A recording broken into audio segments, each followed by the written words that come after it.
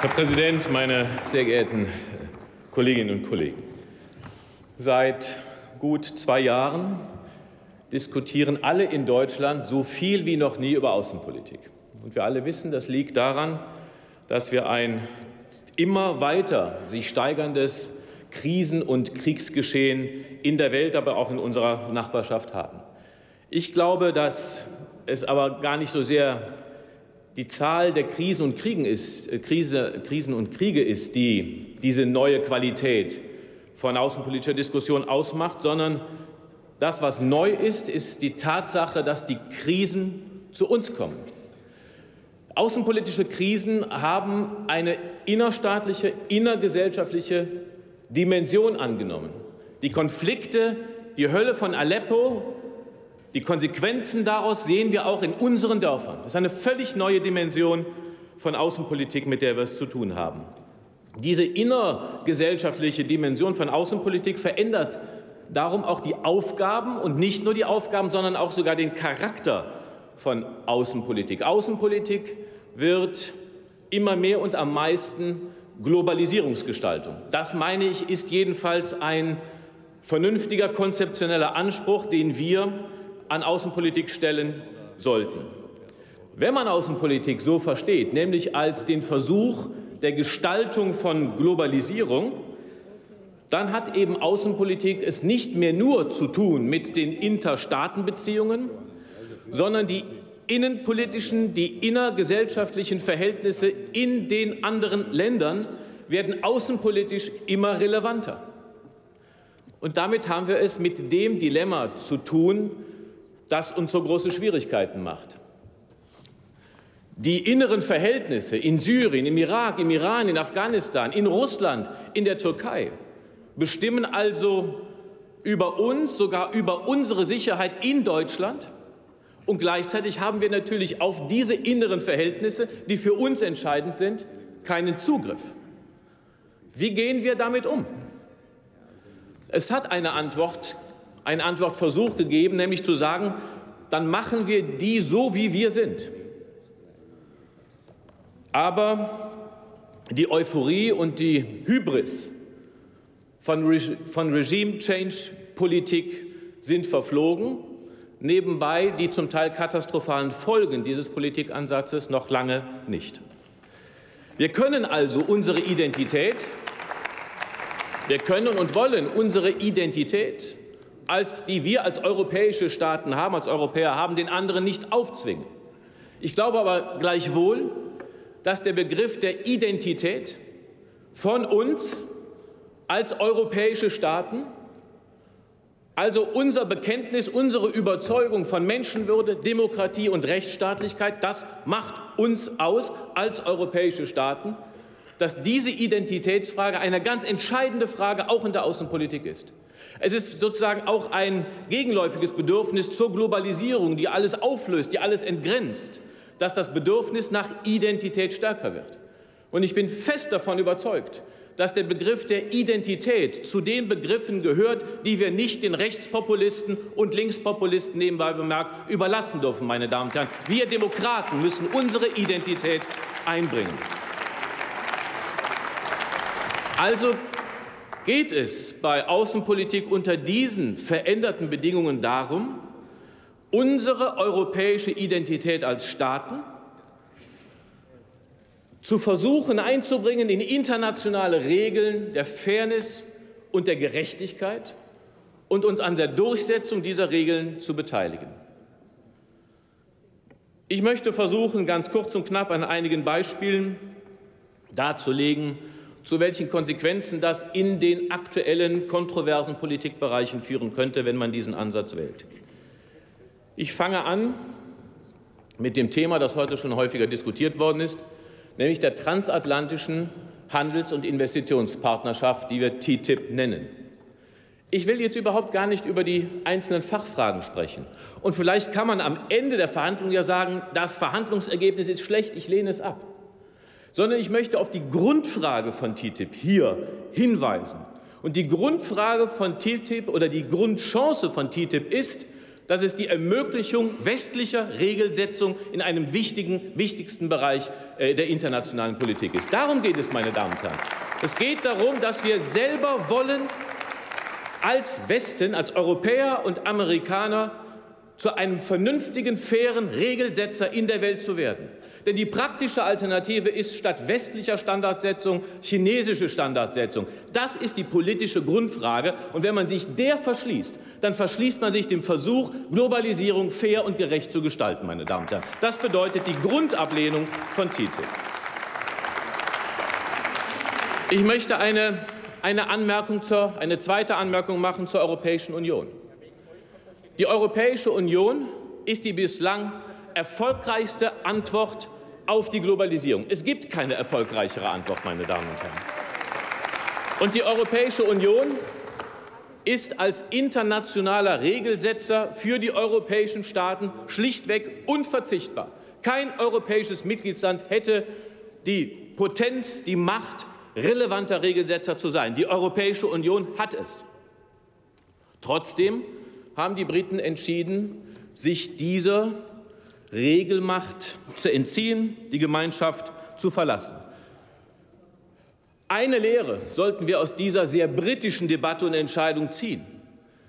Aus der Beobachtung, dass dort die Parteien der Mitte, Konservative, auch Labour es zugelassen haben, dass UKIP, dass die Anti-Europäer die öffentliche Debatte bestimmen, meine Damen und Herren. Wir dürfen in Deutschland und auch in anderen Ländern nicht zulassen, dass diejenigen, die gegen Europa sind, die europäische Debatte in, in, den jeweiligen Ländern bestimmen. Wir müssen die europäische Debatte bestimmen, meine Damen und Herren. Was die Folgerung für das Verhältnis zu Großbritannien anbelangt, plädiere ich dafür, dass wir danach trachten und suchen, ein Verhältnis zu Großbritannien zu entwickeln, das den Schaden von Brexit begrenzt, soweit es möglich ist, und ein so enges und gutes Kooperationsverhältnis zu Großbritannien entwickeln, wie es nur eben geht. Ich bin gegen eine Idee von einem strafenden Europa. Derjenige, der uns verlässt, muss es auch zu spüren bekommen. Ich bin für ein attraktives Europa, wo man dazugehören möchte. Und ich glaube, wir brauchen mehr Flexibilität. Wir brauchen einen, ein Ende von Schwarz und Weiß und alles oder nichts, sondern es ist im beiderseitigen Interesse, dass wir zu Großbritannien als Europäer ein so enges politisches und wirtschaftliches Verhältnis erhalten, wie es nur möglich ist. Ich gehe auf das dritte Beispiel ein, zu einem identitätsbasierten, regelorientierten Ansatz in der Außenpolitik. Und das ist Russland. Der Konflikt zu Russland speist sich nach meiner Einschätzung exakt daraus, dass das Russland unter Wladimir Putin sich zum exakten Gegenteil eines regelorientierten Ansatzes entschieden hat.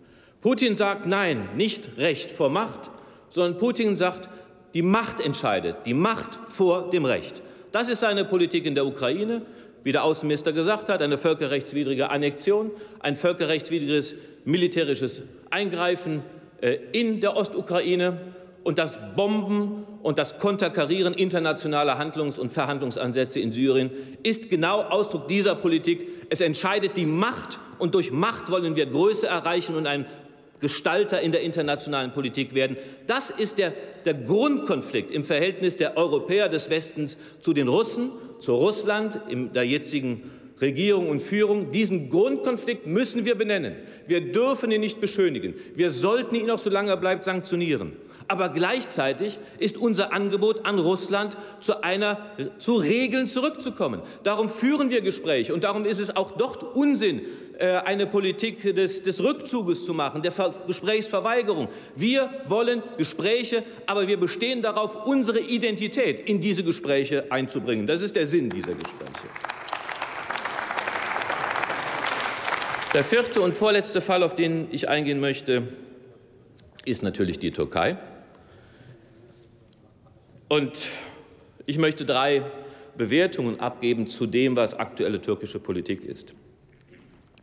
Das erste, die erste Bewertung, die von Staatspräsident Erdogan selbst sogenannten Säuberungen in der öffentlichen Verwaltung, in den Ministerien, in der Justiz, in den Schulen, im Militär, die inzwischen an die in die Zehntausende gehen, nicht an die, sondern in die Zehntausende gehen, bedeuten eine erhebliche innere Schwächung der Türkei, bedeuten eine Fortsetzung der Politik der Polarisierung und der Instabilität. Das ist kein nachhaltiger Weg für die Türkei. Er erfüllt uns mit größter Sorge und wir appellieren, diesen Weg zu beenden, meine Damen und Herren.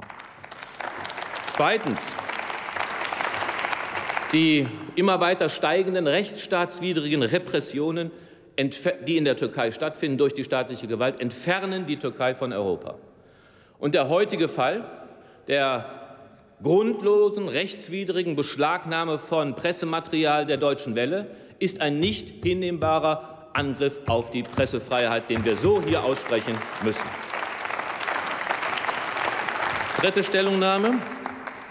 Die Ausdehnung des militärischen Kampfes vom eigenen Staatsgebiet, auch hier eine Militarisierung zu innenpolitischen Zwecken, zu einem erheblichen Grad jedenfalls, die Ausdehnung dieses militärischen Kampfes gegen die Kurden auf syrisches Gebiet macht den Syrien-Konflikt und seine Lösung noch viel komplizierter. Die Türkei ist unverzichtbar zur Lösung, sie ist aber auch ein Teil des Problems in der Region und es schwächt die Anti-IS-Koalition in ihrem Kampf gegen den Islamischen Staat, meine Damen und Herren. Das ist die Bewertung zum Verhalten. Ich glaube auch, dass wir darüber übereinstimmen. Wir sind Demokraten und befürworten die Prinzipien von Rechtsstaat und Menschenwürde und liberale Werte wie Pressefreiheit. Darum stimmen wir überein. Die Frage ist, welche Schlussfolgerungen ziehen wir daraus? Was tun wir mit einem Staat, der sich so verhält? Und da gibt es nun dann auch die Aufforderung, äh, dann müssen wir uns zurückziehen. Äh, fast schon die Freude, der, der, das Flüchtlingsabkommen muss scheitern. Nein, meine Damen und Herren, es gilt auch hier, wir müssen auch gegenüber der Türkei unsere Identität einbringen. Wir müssen verhandeln, wir müssen zu Übereinkommen, wir müssen zu Regeln kommen. Aber wir dürfen eines nicht tun, unsere Werte kompromittieren. Das ist die rote Linie und auf dieser Basis dürfen wir verhandeln. Herr Präsident, mit Ihrer Erlaubnis nur einen unangemessen kurzen Satz zum Nahen Osten. Wenn es nur ein Satz ja. ist, äh, sehr geschätzter Herr Kollege Röttgen, weil die Redezeit schon sehr weit fortgeschritten ist. ist in einer so desaströsen Lage, dass es nicht um Globalisierungsgestaltung geht, sondern es geht um, um Prävention. Es geht um Prävention und es geht darum, dass wir diesen Testfall europäischer Außenpolitik besser bestehen. Es ist die Region, die auf keine Region die auf keine andere Region wie Europa so viel Auswirkung hat wie der Nahe und Mittlere Osten. Und wir sind gleichzeitig nicht wirklich relevant in dieser Region. Das ist ein Testfall für europäische Außenpolitik. Es geht weniger um Gestaltung, es geht um Gewalt, das Ende von Gewalt, es geht um Prävention und Stabilisierung. Prävention ist die wirksamste und billigste Politik. Und darum, glaube ich, ist es vernünftig, wenn wir Kollege etwa bei der humanitären Hilfe doch noch einen Schlag Sätze schon. drauflegen, um und unsere Politik billiger zu einem und effektiver Ende zu kommen. Vielen Dank, Herr Präsident. Danke sehr.